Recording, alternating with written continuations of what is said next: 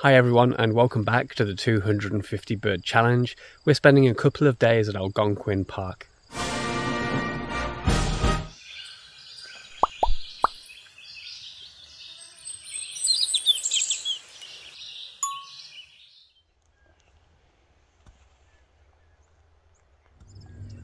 Okay, we're starting out at the old airfield. We've had some look here looking for birds in the past, and uh, a checklist was completed yesterday by somebody that spent quite some time here. They saw a few different species. We're coming kind of close to our 250 goal, but this trip uh, kind of opens up a few different species for us that we wouldn't kind of find closer to Toronto. So the pressure is also on. We're going to see how many birds we can find on this Saturday and perhaps sometime tomorrow on Sunday. As we began walking, we almost immediately noticed this bird and wondered, is it? Could it be? A merlin?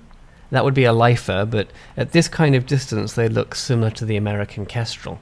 We managed to get a little bit closer. New lifer, it's a merlin. As it happens, there was also a kestrel, and the two birds kept buzzing each other. You can see how they look quite similar to each other here.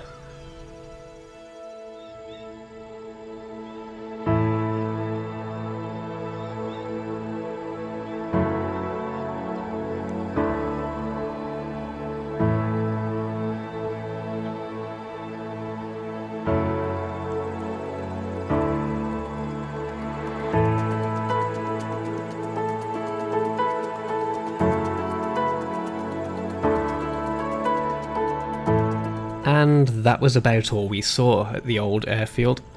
Despite the Merlin, we were otherwise a bit disappointed to be honest. We'd hoped for some warblers and maybe a black-backed woodpecker. We moved on to the logging museum trail, but it was also quiet. We just saw some yellow rump warblers and a ring-necked duck hanging out with a hooded merganser.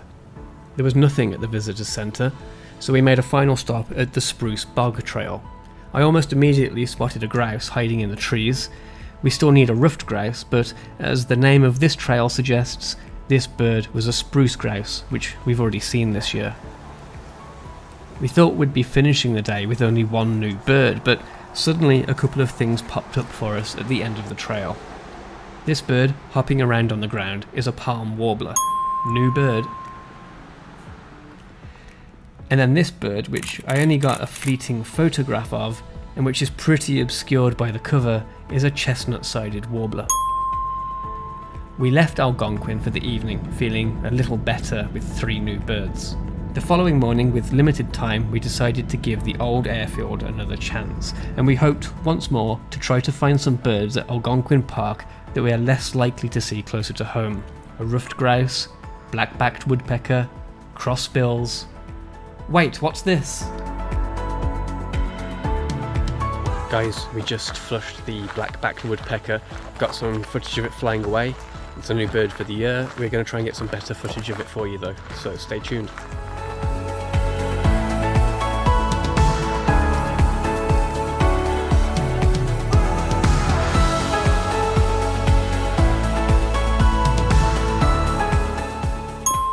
Female. Uh, and there's a male further up. There's two of them there. Got it.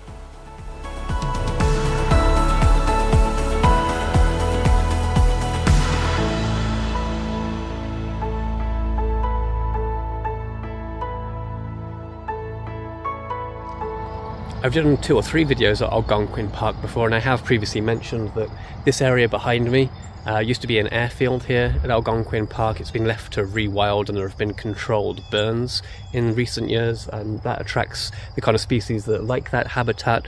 Uh, no surprise that black-backed woodpeckers, for example, have returned here, and no surprise also that small falcons like American kestrels and, and merlins have also been spotted here.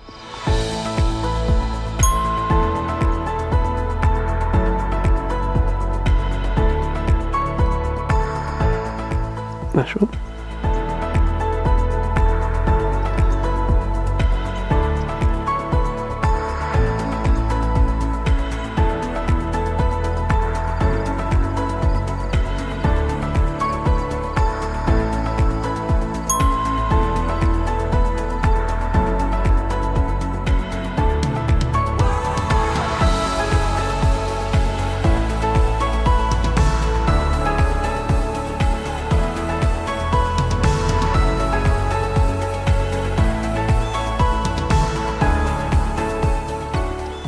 Always a pleasure to visit Algonquin Park, but our weekend was over now.